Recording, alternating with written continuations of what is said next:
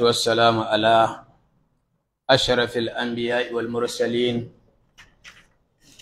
نبينا محمد وعلى آله وأصحابه ومن والاه أما بعد wannan shine darasi na hamsin da ɗaya a cikin darasinmu na arba'unan nawawi Allah ta'ala ya masa rahama Kuma muna cikin hadithi ne na talatin da takwas hadisin abi huraira wanda mun karanta inna Allah ta'ala ƙala ko man adali waliyan faqad azantuhu bil harbi. Anan muka tsaya ko? Allah ta'ala da kayinsa ya ce duk wanda ya gaba da waliyina to azantuhu ina shelanta masa ina sanar da shi. Azana da madda ba azana ba. Azana ba madda shine izini ina masa izini. Amma azana da madda shelantarwa sanarwa. Wa adhanun min Allah ko? In ko ba haka ba a masa shaddawa ce wa addin fil nasi bil hajj duk wannan yana nuna shelantarwa. Shi sa ake cewa azan kiran sallah. Saboda mai kiran sallah yana shelanta mutane cewa lokacin sallah yayi. To faqad adantuhu bil harbi. Ina shelanta masa ina sanar da shi ya shirya yaki da Allah. Ka gani? Ya shirya yaki da wa? Ya shirya yaki da Allah. Saboda me? Saboda yana gaba da waliyin Allah. Inda ka cika sharadin waliyin Allah ba mai taba ka Allah ya ƙyale sai dan baka cika sharadi ba. Yawa kana iya cika sharadi kamar yadda na faɗa satin da ya wuce in Allah ya ga dama ya sa ma karama. In Allah ya dama ya ga dama ya barka ba karama. Ko kuma kana da karamar karamar bata bayyana ba. A cikin sahabbai akwai wanda har suka mutu karamar su bata bayyana ba. Akwai wanda karamar su ta bayyana. Akwai wanda sai da suka zo mutuwa karamar su ta bayyana. Sai da ma suka mutu. Akwai sahabi shi sai da ya zo mutuwa abu ɗaya sahabbai suka yi mamaki. An an bar Madina an tafi filin yaƙi ana ana kan hanya mutuwa ta zo masa. Shi kai a wurin da ya ga yana ga ba zai kai ba. Abin da ya roƙi Allah abu ɗaya. Shine Allah kar ya bar wani ya zo ya yaye masa jikinsa da sunan ko zai mar wanka ko zai mar wani abu. Allah kar ya ba da dama. Ga kowa. To kaga ya zai in ya mutu? Wannan addu'a. Ya za in ya mutu? Tunda dai ka san dai wankan gawa wajibi ne ko? To tunda wankan gawa wajibi ne za a masa wanka irin na manzo Allah kenan? Tunda manzo Allah ya masa wanka da sutura ne. To shi ma haka zamar ko kuma ya yake so? Shi dai abin da ya roƙa kenan. To amma kaga karamarsa inda ta bayyana? Yana mutuwa akwai ruwa fa sai aka rasa ruwa. Duk ariyan wurin aka zaga aka rasa ruwan da za a mara wanka. Tunda ba kashe shi aka a filin yaƙi ba haka ne ya mutu. An rasa ruwan da za a masa wanka. Sahabbai suka zauna suka tattauna ya za a yi? A ce sai dai a masa taimama. Sai aka masa taimama. Aka binne shi. Ana gama binne shi sai ga ruwa ya zo. Sai aka fara muhawara. Kai tunda mun samu ruwa a fitar da shi a marwanka. Wasu ka ce a tunda mun riga mun yi masa taimama har an yi kawai a ƙyale shi. Ce a ina? Sai masu cewa a masa wanka suka yi rinjaye. Kaga me za a yi? Za a fitar da shi don a masa wanka. Da aka zo aka buɗe ba komai a ciki. Aka samu ramin ne kawai. Ba kowa! Eh? Ya za ku yi kenan? Eh sai ku gudu? Zai mayar ramin a rufe shi. Ba kowa to. Ina yake? Kowa. To kaga shi kenan.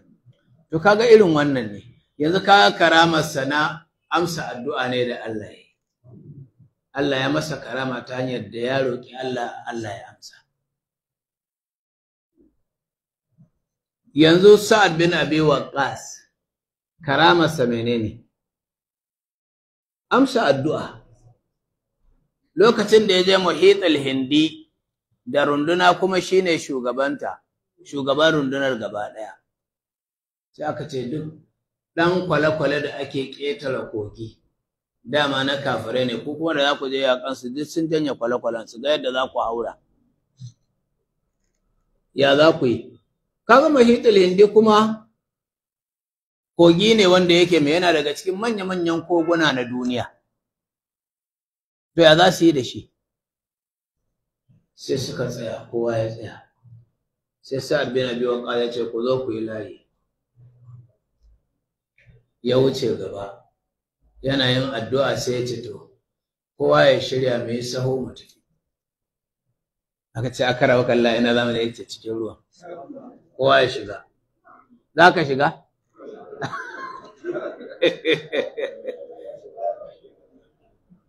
Kaga wannan ba zai shiga ba. Dan na ce zai shiga ya ce insha Allah. Kaga ba zai shiga ba. Ba zai shiga ba wannan. Ka gani?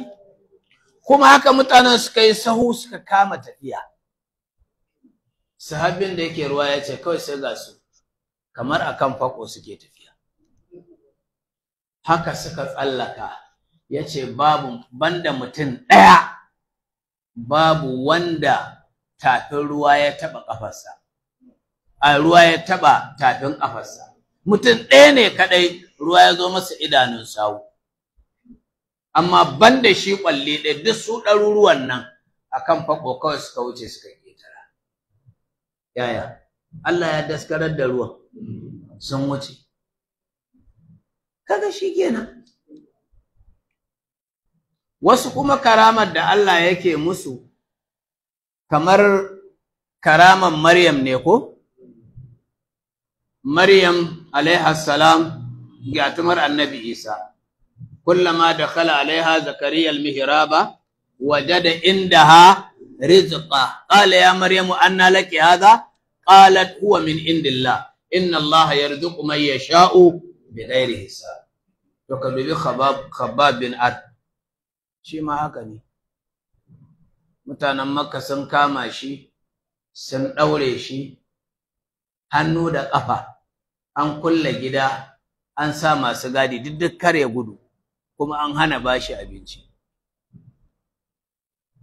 Kuma suka zo sai samu abinci a wajensa.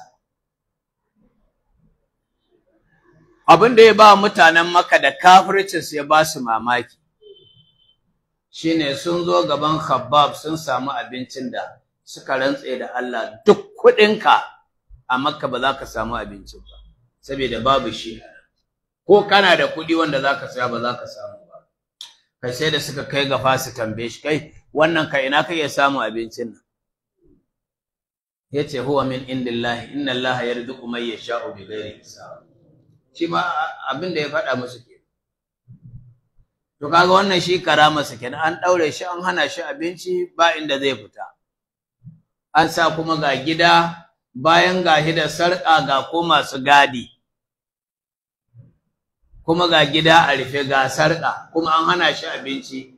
Kuma sai a zo a same shi ga da abinci. Ya ci har ya rage gashi nan. Irin abincin da masu da suke da wadata ba su samun irinsa. Ga wannan irin karamar su kenan. Da haka karama nau'i nau'i ce iri daban-daban don haka da da malamai suka yi magana akan khariqul ada shine abin da ya fi ƙarfi a al'adan ɗan adam ɗan adam ya yi shi. Sai suka kasa shi kashi biyar wasu suka kasa shi kashi uku wasu suka kasa shi kashi huɗu kashi na ɗaya shine khariqul ada ya bayyana a wajen mutumin da mai imani mai biyayya wa Allah mai biyayya wa manzon Allah. To wannan khariqul adan sunansa karama. Karama ce Allah ya karrama shi da shi. Khariqul ada ya bayyana a wajen annabi manzo ko annabi. To wannan khariqul adan sunansa mu'jiza. Mu'jiza ce. Shine irin yadda za a ce annabi sallallahu alaihi wasallama ya sa hannunsa a bakin ruwa ko a cikin daro. Ruwan ya cika. Ruwa daron ɗan ruwa ne ɗan ƙanƙani amma daron ya cika kowa ya sha. Tulu na kafira. Wanda an tafi neman ruwa an rasa yadda za a yi alwala kuma mutane tare da manzon Allah sama da mutum ɗari biyar. Sai aka samu wata kafira tsakanin akan jaki tsakanin tulunan ruwa. Su sayyidina Ali da aka tura su aka mota bata iya larabci ba. Su ko ba su iya yaranta ba. Suka mata ishara ina kika samo wannan ruwa? Ruwan nan muke nema za mu sha za mu yi alwala. Ina kika samo ta musu ishara daga inda ta samo shi zuwa nan tafiyan kwana biyu ne. Za su je su? Da za a yi sallah dai?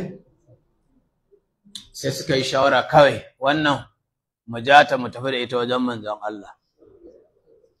Sai aka ja ta da jakinta aka je wajen manzon Allah aka faɗa masa ga halin da manzon Allah da ya ɗau yatsar sai ya sa bakin tulu sai ya ce to kowa butar da yake da ita na ruwa abun guzurinsa na ruwa ya zo ya tsiyaya. Kowa ya cika abun guzurinsa na ruwa. Manzo Allah ya ce kowa ya ebi ruwa ya sha ya koshi ya iba sannan manzo Allah ya ce to kowa ya alwala. Kowa ya alwala sai manzon Allah ya cire hannunsa. Ko kaɗan ruwan bai ragu ba daga wannan tu shikenan an gama. Mutum sama da ɗari biyar kowa ya yi guzuri kowa ya sha kowa ya yi alwala kuma ruwan bai ragu ba. Sannan manzon Allah ya ce to kun ga wannan matar? Ku biya ta ruwanta. Eh? Mana a biya ta ruwanta. Aka zo kuma aka biya ta aka shimfiɗa abu aka dinga kowa ɗan abin da zai bata ya saka. Shi sa da ta je garin su tace ta ta haɗu da wani khairun nas. To kaga wannan shi tun da ya bayyana ga wajen annabi ne sunansa mu'jiza. Ko a wajen wasu malamai su ce sunansa aya. Na uku khariqul ada. Idan ya bayyana a wajen mutumin da an san shi ba ba biyayya wa Allah yake mai saba wa Allah ne ma asalan. To wannan kam sunan wannan abin da yake ɗayan biyu. Ko dai lubsi ne shine abin da bahaushe yake cewa aljanu sun buɗe wa mutum idanu. Ko lubsi ne yana da shaidanun da suke masa wannan. Kawai yanzu yana zaune a nan sai dinga cewa ga kaga ga wata mota ta bakin kasuwa ta faɗi ko ga wata mota ta bakin kasuwa tana yin kaza kuma yana zaune a nan. Kaga ina duk ginin nan kenan fa baya baya tare masa. Kaga aljanu sun buɗe masa ido. Wannan ba karama ba ne. Ko kuma sihiri ne. Yana sihiri. To ɗayan biyun nan zai faru. Wa'annan su ne duka khariqul ada sai na ƙarshe akwai wani su malamai da suke sa firasa a ciki. Firasa kuma kowanne mumini ba yana da firasa ba. Kuna karanta ittaqu firasatal mu'min ba? Fa innahu yanzuru bi nurillahi ta'ala. To firasa akwai sababa da yawa da suke kawo firasa. Wani lokaci wahala wani lokaci yunwa wani lokaci gashi nan dai. Allah ta'ala ya samu dace. An samu wata ruwaya. Asalin ruwayan ana jingina ta daga wani daga cikin bani Isra'ila ne shine wanda ake ce masa jirjis amma a cikin bani Isra'ilan Jirjis nan yana daga cikin annabawan bani Isra'ila. A zamaninsa sai aka samu wani sarki maɓarnaci mai ɓarna. Shi kenan sai Allah ya sa shi wannan Jirjis ɗin, sai Allah ya kare shi ya tattaru a sauma'ansa. yana nan baya baya zuwa ko'ina. Har sai da Allah ya riƙe ruwa. Shi wannan azalimin sarkin da mutanen gari suka ga za su halaka. Sarki ya hau abun hawa da jama'arsa suka zo wajen shi wannan jirjisu suka same shi a ɗakin ibadarsa. Ba abin da yake sai tasbihi sai tahmidi. Ya ce ya kai jirgis inni lalle ni uhammiluka risalatan ila rabbika. Zan ɗora maka wani saƙo ka kai wa Allahnka. In ji sarki. Sai ya ce menene wani irin saƙo ne? Tunda jirgis ɗin annabi ne daga cikin annabawan da Allah ya turo cikin bani Isra'ila. Shi ba manzon Allah ba ne amma annabi ne. Shikenan sai ya ce masa to menene saƙon? Sai ya ce ka isar wa ubangijinka cewa ya tina bil matri wa illa adaituhu adiyatun yasma'uha sa'irul bashar. Yace wallahi ka ce wa Allah ka ya sake mana ruwan sama. Muna nema mu halaka ya riƙe ruwan sama. Ka ce ya sake mana ruwan sama. In ba haka ba sai na cutar da shi cutar wadda duk duniya sai an ji labari. To kai yanzu wannan me za ka ce bana sai gan shi ya yi wauta ashe yana da ilimi. Shikenan. Zai tafi ya ce masa kuma ka tambaye shi me dalilin da yasa ya tare mana ruwa? Shikenan Jirgis ɗin nan ya shiga mihrabinsa. Zai yana ci gaba da ibada. Shi kuma sai tsoro ya kama shi. Ya gagara ma yana tasbihi ya gagara. Saboda wannan kalman ta wannan sarki zaka cutar da Allah? Sai abin yana bashi tsoro. Kawai sai ya ji kira. A wannan ruwayan aka ce kiran wanda ya kira shi mala'ika ne. Wasu suka ce mala'ika jibrilu ne ya kira shi. Mala'ika jibrilu ya tambaye shi menene saƙon wannan sarki. Bakinsa yana rawa ya kasa magana. Jibrilu ya ce masa ka faɗa. Ubangiji ta'ala ne ya ce mu tambaye ka. Kuma ka faɗe shi yadda ya faɗa. Sai ya faɗa. Sai jibrilu ya ce to ko ka tambayi sarki ta ya zai cutar da Allah? Sai ce ka tambaye shi. Shikenan shi wannan jirgis ya je sarki ya tambayi sarki ya za ka yi ka cutar da Allah? Sannan sai sarki ya ce ai ba zan iya cutar da Allah ba. Amma abin da nake nufi da shi zan cutar da waliyansa. Domin in na cutar da waliyansa na cutar da shi. To kuma jibrilu sai ya tabbatar masa da cewa haka ya zo kuma cikin ruwayar da imamu tabarani ya ruwaito abubakar ibn abi shaiba ya ruwaito ta. Manzo Allah sallallahu alaihi wasallam ya ce wanda ya cutar da waliyana ya cutar da ni. To kaga shi yanzu wannan sarki abin da yake nufi da zai cutar da Allah cutar wanda kowa sai ya ji shine zai cutar da masoya Allah. Shi yasa in ka cutar da bayan Allah to wannan ka cutar da ubangiji ta'ala. Da haka shi yasa ubangiji ta'ala ba zai barka ba. Allah ya ce duk wanda ya gaba da waliyina to ina sanar da shi ya shirya yaƙi da ni. Sai manzon Allah ya ce Allah ya ce wa ma taqarraba ilayya abdi bi shay'in ahabba ilayya.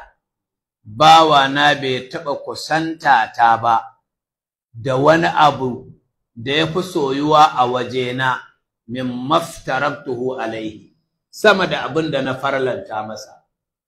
Jama'a duk wanda yake so ya kusanci Allah ya zama na kusa da Allah to babu abin da za ka zama kusa da Allah kamar ta hanyar aikata abin da ya farlanta ma. Jama'a shine fa wasila da ake nufi. Ya ayyuhal ladina amanu taqullaha wabtagu ilayhi alwasila wajahidu fi sabilihi la'allakum tuflihun. Wabtagu ku nemi alwasila. Menene wasila? Shine tsani. Idan ka sa tsani a nan menene amfanin tsani? Zaka hau ka isa inda kake so. Ku nemi wasila. Menene wasila? Aikin da zai kusantar da ku zuwa ga Allah. Babu aikin da zai kusantar da kai zuwa ga Allah sama da farillarsa.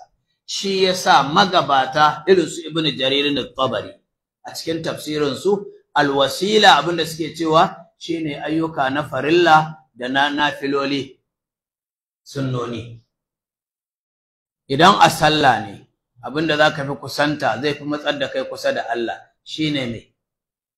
Sallar farilla sallar azhar sallar la'asar sallar magariba sallar isha'i ko ma ka yi ta a masallaci. Ba kwa gani ne hadisi sahihi bukhari da muslim suka ruwaito manzon Allah ya ce duk bawan da ya tashi da asuba ya je masallaci a cikin jam'i aka yi sallan asuba da shi to kana fi zimmati. Yana cikin zimmata yana cikin amanata. Shi amanata ne a bayan ƙasa. Manzon Allah ma ƙarshen hadisin ya ce to fa ku kar ku yadda Allah ya neme ku akan amanarsa. Kun cutar masa da amanarsa. Kaga abin da zaka fi kusanta Allah da zai fi kusantar da kai? Abin da ya farlanta ma. A sallah sallolin nan guda biyar shi yasa a sallah kan ma kaga ai manzon Allah ya nuna maka tsabar yadda kake kusanci da Allah. Ko ba ce ma gana kuke da Allah duk lokacin da ladan fa ya zo ya ce Allahu akbar Allahu akbar yana tuna maka girman Allah. Don ya ce maka Allah shine mafi girma. Ai kila harkar da kake tana da girma a wajenka ko? To yanzu yana faɗa ma Allah shine mafi girma. Kila wani ya saka ka aikin kuma kana ganin girmansa to Allah shine mafi girma. Sannan ya tuna maka alƙawari da kuka yi da Allah. Ba ka ce zaka bauta Allah ba? Shi sa zai ce ma ashhadu ilaha illallah. Shine kalmar tauhidi. Ana tunatar da kai kalmar shahada wanda alƙawari ce tsakaninka da ubangiji zaka bauta masa. Ana tunatar da kai ashhadu anna muhammadar rasulullah kai alƙawari da Allah akan wannan kalmar zaka bi manzon Allah. Zaka karɓi addini ta hannun manzon Allah. Sannan a ce hayya ala salah hayya ala ka taho zuwa ga sallah ka taho zuwa ga babban rabo. Ka taho zuwa ga sallah ka taho zuwa ga babban rabo. Ai asalin kiran hayya ala da hayya ala fala shine kiran. Amma yanzu me wannan kiran sallah take nunawa? Tana nuna cewa Allah yana kiran ka zo ku gana. A kowanne gari Allah yana da ɗaki. Ina ne ɗakinsa? Masallaci. Hadisai sahihai sun tabbatar da ina ne ɗakin Allah. Masallaci. Alqur'ani fa shi ma ya tabbatar fi biyutin adina Allahu an me? An turfa.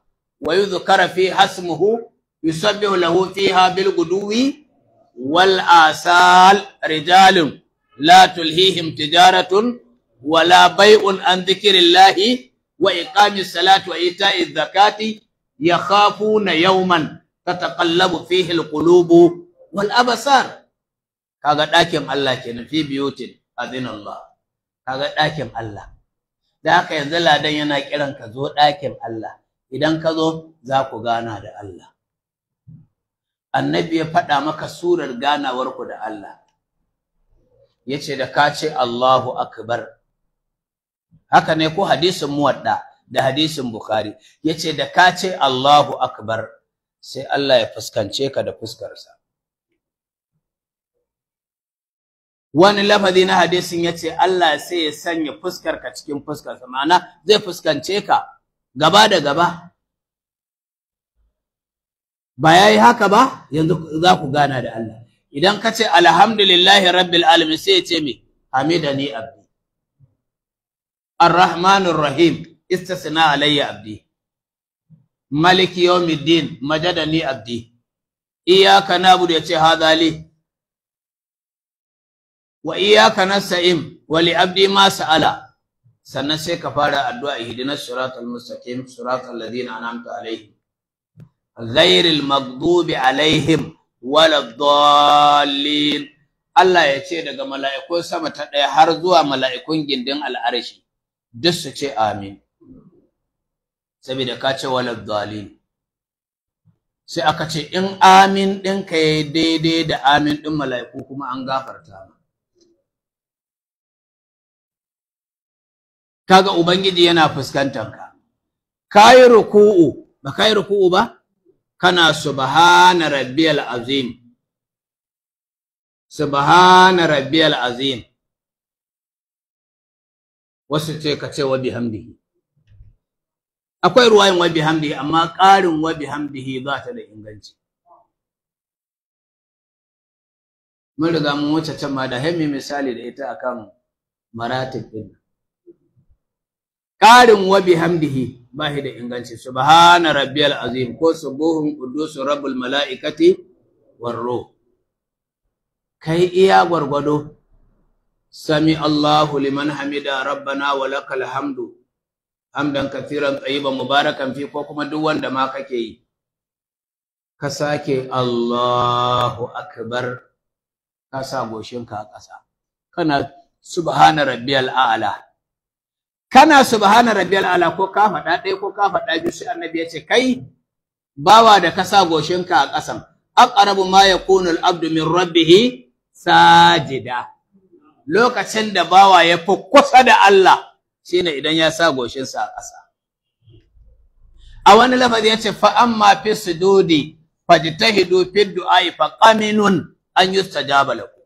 Amma in kun yi sujuda tabbas kun cancanci in kun yi addu'a amsa muku. Don haka ku dage cikin yin addu'a. Shi sa malamai suka ce jam'an baina baina hadhihi alhadis shine a ce in kai subhana rabbiyal a'la ɗaya biyu uku sai kuma kai addu'a. Shikenan ka dago har yanzu kana ubangiji yana fuskantar ka dago ka zauna kafin ka koma sujuda sai annabi ya ce kai ka nemi gafara domin ubangiji yana fuskantar ka. Ko ka ce rabbi gifirli rabbi gifirli wasu ka yi ta yi wannan kawai har ka koma sujuda. Ce a'a rabbi gifirli warhamni wajibirni ko warfa'ani wa afini warzuqni shi sa a sallah fa yaka gama addu'a. Domin yanzu a zaman nan ya Allah gafarta min ya Allah ka min rahama. Ya Allah ka bani lafiya. Ya Allah ka ɗaukaka ni. Ya Allah asarar da na yi ka toshe min gurbinta. Ya Allah ka azurta ni. Me ya saura? Abinda annabi ya ce ka roƙa kenan. To me ya saura? Rabbi gifirli Allah ka gafarta. Warhamni Allah ka min rahama. Yace warfa'ni Allah ka ɗaukake ni. Sannan me? Wajibirni Allah asarar da na yi toshe min gurbinta. Ka gani? Sannan me? Wa'afini Allah ka bani lafiya. Sannan me? Warzuqni. Allah ka azarta ni. To ni ban ga me kake nema. A cikin wannan biyar wanne ne baka samu ba? Idan aka ce afini ka samu lafiya. To kuma kai asara an mayar ma gurbinta an toshe ma. Sannan ka ce azarta ka. Kaga a duniya kan me ya saura? A lahira kuma ka ce a maka gafara ka ce a maka rahama. To me saura kake nema? Sannan kuma ga ka ce a ɗaukaka ka ɗaukaka duniya da lahira. Sai ka koma sujuda ka ƙara. Haka za ka yi kaga kayi raka ɗaya ka ce ka yi ta yi a ta biyu ma. Har sai ka zo ta wacce za ka yi sallama in ka zauna ka yi tahiya. Can kuma sai aka ce bayan ka yi tahiya tahiyan nan gaisuwa ce ga Allah. Bayan ka yi tahiya gaisuwa ce ga Allah ka yi wa annabi salati. Da kai haka sai annabi ya ce in ka gaida Allah ka masa salati. To kar ka sallama. Ya ce ka roƙi Allah ya tsare ka daga azabar jahannama daga azabar kabari daga fitinar rayuwa daga fitinar mutuwa daga fitinar masihar dajjal. Me saura? Amma duk da haka annabi bai barka ba. A hadisin abi dauda sai ce kuma ka roƙi Allah Allahumma inni a'udhu bika min al-ma'athami wal magarami. Allah ka tsare ni daga larurar da za ta sa in saba maka. Ka tsare ni daga larurar da za ta sa in ci bashi. Amma duk da annabi da ya faɗa ka bai barka ba sai ya ce sannan ka zaɓi daga cikin addu'o'i wanda suka maka. A wanda suka maka nan abubakar ya ce ya rasulallah ka koya min. Me zan yi a cikin sallah? Wacce zan yi? Ya ce ka ce allahumma inni zalamtu nafsi zulman kathiran wa la yaghfiru dhunuba illa anta faghfir li. Amma da sa'ad bin abi waqqas ya zo sai ya ce ka ce allahumma inni a'udhu bika min al-ajzi wal kasali wal jubni zuwa ƙarshe da mu'adh bin jabal ya zo sai ya ce ka ce allahumma inni ala dhikrika wa shukrika wa husni ibadati. Duk gashi nan sabai daban-daban lafazi daban-daban. Dan haka dai a taƙaice abin da zai kusantar da kai zuwa ga Allah abin da aka farlanta. In a sallah ne sallar farilla. Na biyu in a azumi ne azumin ramadana. In a aikin hajji ne aikin hajji na rukunin musulunci. Sai me? In a kuɗi ne zakatul mafaruda. Sai me kuma? Sannan sai mu je to nafiloli kuma. Kar mu shiga nafiloli to ma mun zo gaba ma tashi a nafiloli. Allah ta'ala ya mana muwafaka to sai addu'a اللهم صل على محمد وعلى آل محمد كما صليت على إبراهيم وعلى آل إبراهيم إنك حميد مجيد اللهم بارك على محمد وعلى آل محمد كما باركت على إبراهيم وعلى آل إبراهيم إنك حميد مجيد اللهم إنا نسألك الخير كله ونعوذ بك من الشر كله اللهم آفينا في جسدنا وآفينا في بصرنا وآفينا في سمعنا وآفنا في بلادنا وآفنا في حياتنا كلها يا رب العالمين. يا حي يا قيوم برحمتك نستغيث برحمتك نستغيث. أصلح لنا شؤوننا كلها ولا تكلنا إلى أنفسنا طرفة عين. يا حي يا قيوم يا ذا الجلال والإكرام. اللهم رحمتك نرجو فلا تكلنا إلى أنفسنا طرفة عين وأصلح لنا شؤوننا لا إله إلا أنت سبحان ربك رب العزة عما يصفون والسلام على المرسلين والحمد لله